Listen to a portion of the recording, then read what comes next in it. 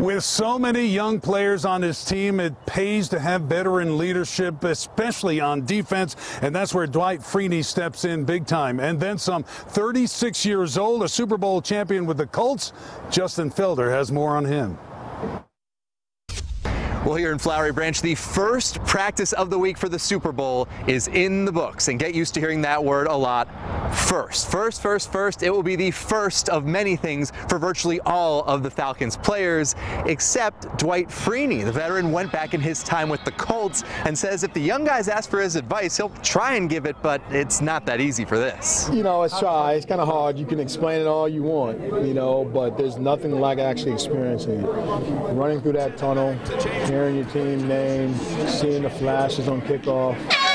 This is Wednesday, right? You know, we're not playing the game today. Don't worry about the game today. Bury yourself in that process, and then when you look up, it's going to be next week.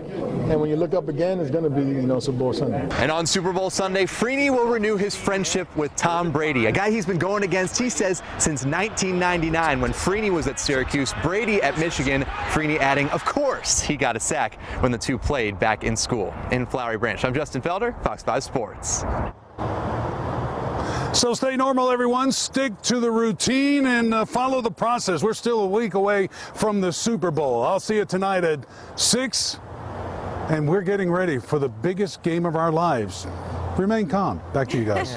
Yeah, that's going to be tough for the next, what, 11 days and uh, 56 minutes. Easier K-Rod, said thanks. than done. Fox 5, the only place to watch Super Bowl 51 coverage here, starts on Fox 5 at 11 a.m. Sunday on February the 5th. So mark your calendars. Kickoff for the big game is at 6:30.